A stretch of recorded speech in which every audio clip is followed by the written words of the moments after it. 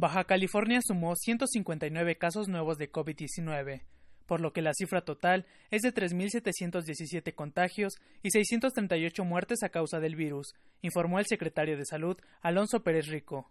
Tijuana tiene 1.719 casos confirmados, Mexicali 1.613, Ensenada 173, Tecate 140, Playas de Rosarito 49, San Quintín 20 y San Felipe 3. Sobre las defunciones, el funcionario detalló que Tijuana tiene 438, Mexicali 141, Ensenada 26, Tecate 22, Playas de Rosarito 7, San Quintín 3 y San Felipe 1. Además, se han recuperado 716 pacientes en el estado. Del total de pacientes, el 90% se encuentra en aislamiento en sus hogares y el 10% restante ha requerido de hospitalización.